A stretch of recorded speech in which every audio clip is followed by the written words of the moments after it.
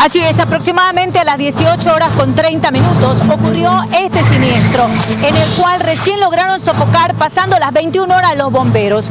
La empresa que estamos observando sería Inalquim, que está ubicada en el noveno anillo y la avenida G77.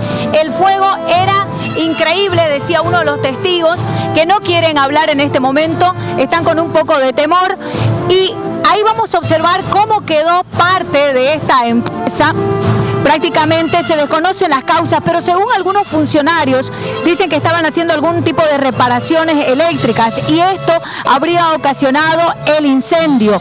También salió el humo, como ven, de este galpón, que es uno de los más afectados, y habría quedado también un policía con parte de la pierna también quemada, que tuvo que ser atendido inmediatamente por la eh, gente que estaba aquí con las ambulancias pero solamente fue la única persona que resultó herida.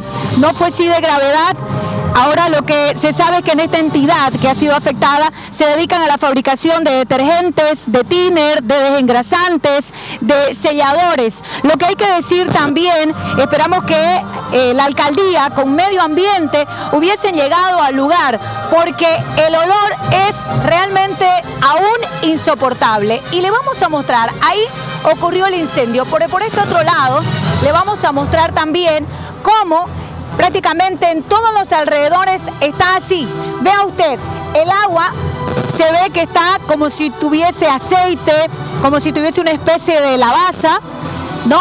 Y huele como a gasolina, como a tiner, eh, tiene diferentes olores y la preocupación de los vecinos que no quieren hablar es de que todo esto, aparte de que todavía el aire estaría un poco contaminado, es también el suelo. Por eso decimos que ojalá también se haga presente medio ambiente para ver no solamente los daños materiales de parte de los bomberos y las causas, sino también el daño medioambiental y cuáles son las recomendaciones para los vecinos que viven en las zonas aledañas a esta fábrica.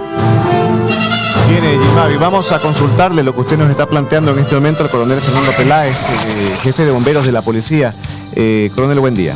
Buenos días. Antes que nada, estos eh, olores insoportables, como los califica Gilmavi, ¿son normales? ¿Qué se debe hacer? Bueno, en realidad esos olores que se está percibiendo en este momento es de aquellos eh, combustibles que se encontraban en el interior de estos depósitos, ya que ahí hemos visto que tenían algunos turriles con alcohol y todos aquellos insumos eh, que es necesario para la preparación ¿No es peligroso que siga ese aroma allí? Eh, no, no, eso pienso que sí, se va a ir perdiendo poco a poco. Ha sido mezclado eso con el agua que nosotros hemos utilizado. Pregunto porque si alguien pasa con un cigarro, ¿puede también otra vez haber otro incendio o ya no? Ya no, lo que nosotros hemos hecho ha sido eh, terminar, eh, hacer el enfriamiento total de la estructura y de sus alrededores también hemos previsto para que no pueda suceder esto. Bueno, eh, vamos con el informe, porque esto es un incendio estructural, según lo que usted nos contaba, en una fábrica de...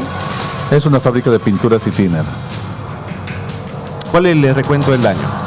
Bueno, lo que nosotros hemos encontrado en primera instancia cuando nos hemos constituido al lugar es eh, la existencia de dos depósitos y también una fábrica de pinturas y tiner.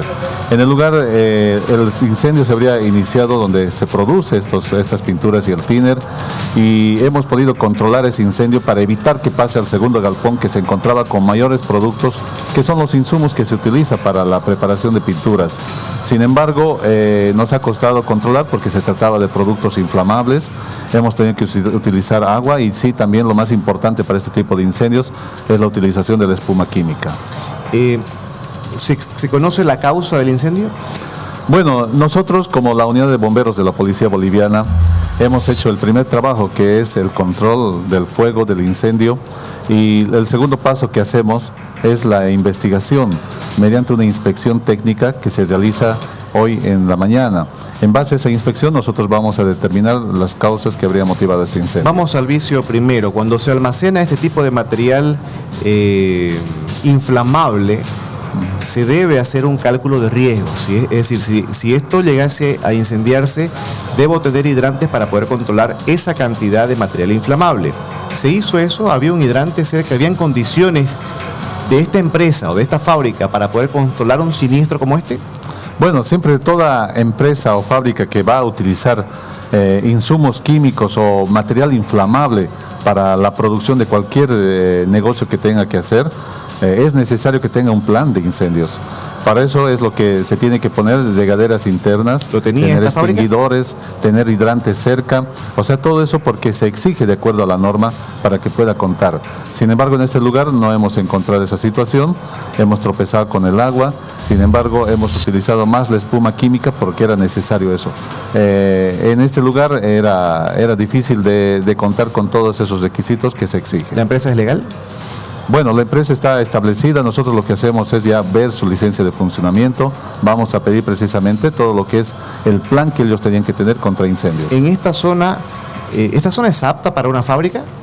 Bueno, en realidad eh, sabemos que en nuestra ciudad de Santa Cruz tenemos eh, parque industrial donde tienen que estar todas aquellas industrias o empresas y mucho más aquellas que eh, tienen como insumos para la preparación de sus productos material combustible o que sean químicos que puedan afectar el medio ambiente.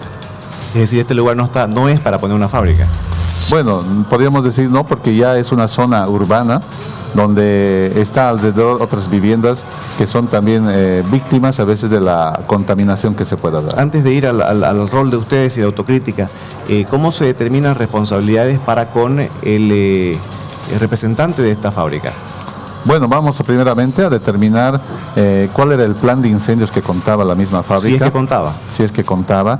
Así también qué es lo que había previsto al, utilizar ese tipo de materiales que son combustibles y si también habría previsto eh, lo que podía tratarse cuando se lleva adelante algún, algún siniestro de estos. Entonces, eh, en base a eso se hace unas recomendaciones y ya existe la autoridad competente para hacer el, el control de todo esto. Enfocamos de otra forma. En el reporte hay eh, personas que fueron atendidas por intoxicación por inhalación, el humo. Pero también hay reporte de bomberos con quemaduras eh, leves. Ante esta situación, ¿tienen condiciones para ustedes atender un siniestro de esta naturaleza?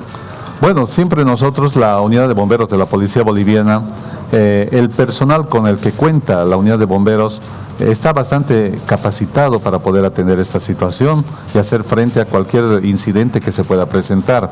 Sin embargo, tenemos que tomar en cuenta que los uniformes que estamos utilizando ya han cumplido también su tiempo de uso.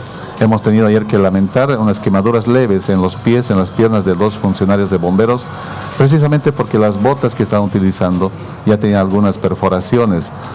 El líquido inflamable ingresó y eso es lo que produjo esas quemaduras leves, porque se trataba de alcohol y tiner, no ha sido así el fuego, sin embargo sí podemos determinar que necesitamos mucho más implementos, necesitamos los equipos contra incendios y necesitamos muchas otras cosas que a veces se van viendo en el momento cuando uno se encuentra trabajando. Hay muchas preguntas para este eh, caso, por ejemplo, por qué estaba ahí esa fábrica y si es que tenía o no un eh, eh, plan de contingencia para, una, para, una, para un incendio de esta naturaleza. Coronel Peláez, muchas gracias. Esperemos que esto, estas, estas precariedades con las que le toca lidiar se solucionen. Así es, nosotros siempre estamos atentos. El número 119 de la Policía Boliviana de su unidad de bomberos está atentos, no solamente para atender incendios, sino también para poder atender cualquier caso de accidente o emergencia que se pueda presentar. Y permítame felicitar a esos mis policías de la unidad de bomberos que han trabajado con el corazón. Y en todo trabajo nosotros estamos siempre para atender al llamado de auxilio que la población necesita. Guardamos conocer las causas y las responsabilidades sobre este hecho. Gracias, Coronel. Que tenga buen día. Listo, gracias. Hasta luego.